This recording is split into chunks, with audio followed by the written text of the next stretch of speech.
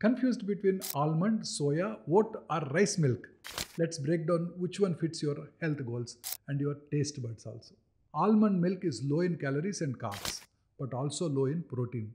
Great for Weight Watchers, but not ideal if you are looking to build and maintain muscle. Soya milk is the closest nutritionally to dairy, high in protein and heart healthy fats.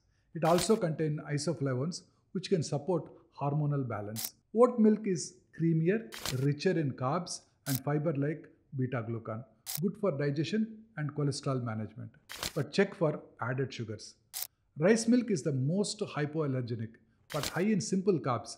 It's great for those with nuts or soya allergies, but not the best choice for diabetics. The best milk really depends on your body and goals. There is no one size fits all.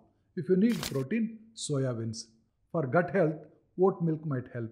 If you are after fewer calories, almonds are your pick.